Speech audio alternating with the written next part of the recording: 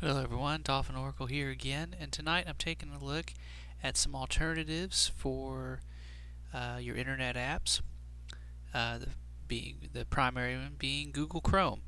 Um, the Chromium web browser is available in the Synaptic Package Manager, and it's the open source version of Chrome. But if you want proper Google Chrome, if you're a Google kind of guy and you want Google Chrome, well, that's available too, but not from the default repos. So what you do is you go to Google google.com and just search for Chrome.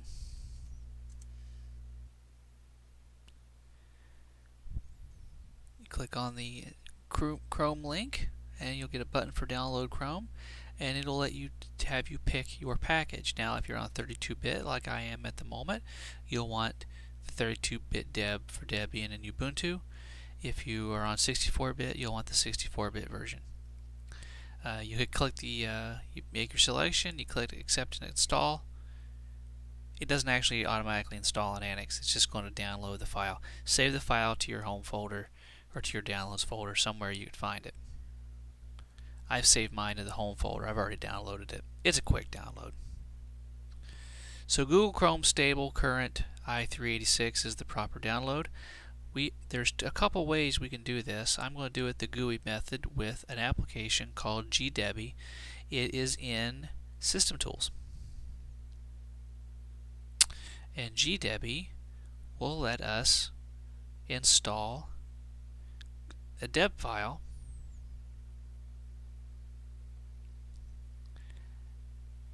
that we've downloaded and you can see that it's going to and it, the nice thing about this method rather than using D, dpackage or something like that is that GDebi will actually is internet enabled it will go out and satisfy any dependencies. In this case all the dependencies are satisfied so we hit the big friendly install package button. This is your root password. And it's going to do its thing. Now it might take a while for the package to install. Google Chrome is decent sized package, but it's only one package in this case because we already have all the dependencies. So it shouldn't take too long. If you want to view the, the progress, you can crack open terminal here and see it. But as you can see, we've already got Google Chrome finished. So we hit the close button. We're done with GDebi. Come down here to desktop applications internet? Ah where is it? It should be here but it's not. Oh that's because we have to hit the update menu button. FYI future a future in the future there's a, a future version of AntiX in the works where the menu will auto update. So internet Google Chrome after the update and up she comes I'm not going to make it the default browser because I got a lot of other stuff installed at the moment. And there you are. You got Google Chrome.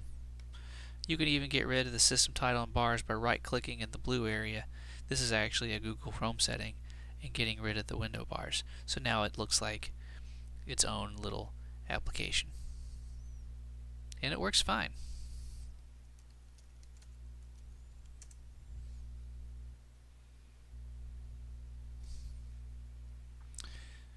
Go ahead and search for my channel.